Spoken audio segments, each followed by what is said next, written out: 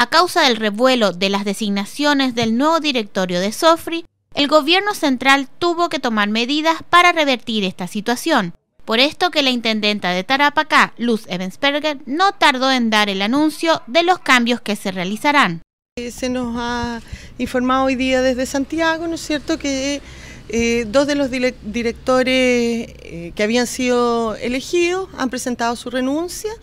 por eh, asumir nuevas responsabilidades en otros lugares o reparticiones del gobierno, como por ejemplo don Cristian Letelier, que con posterioridad a haber sido designado director de la SOFRI, fue em, nombrado como director del diario oficial y la segunda renuncia presentada, ¿no es cierto?, es de don Ángel Cabrera, quien también está pronto a asumir nuevas responsabilidades en otras reparticiones del gobierno. Según los trascendidos, las personas que entrarán a reemplazar los cargos renunciantes serán Alberto Simián y Rafael Montes. Eh, el presidente, ¿no es cierto?, y escuchando también eh, cómo se ha manifestado la región de Tarapacá,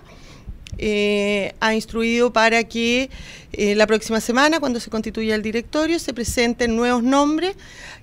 para reemplazar a los dos directores renunciados, comprometiéndose que los nuevos nombres que se van a presentar sean de la región. La intendenta descartó que los cambios se hayan producido a causa de una presión ciudadana. Yo creo que acá no hay que olvidar, ¿no es cierto?, que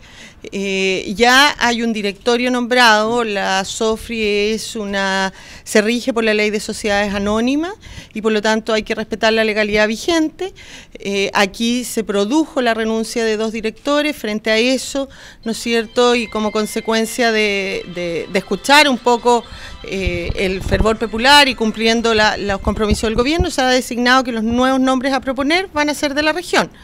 pero si no hay nuevas renuncias, ¿no es cierto?, esto debiera quedar hasta acá. Según la intendenta, si no hay más renuncias, los cargos que fueron elegidos son inamovibles. Ahora queda esperar la próxima reunión del directorio para conocer su conformación definitiva y si finalmente será una persona de la región quien lo presida.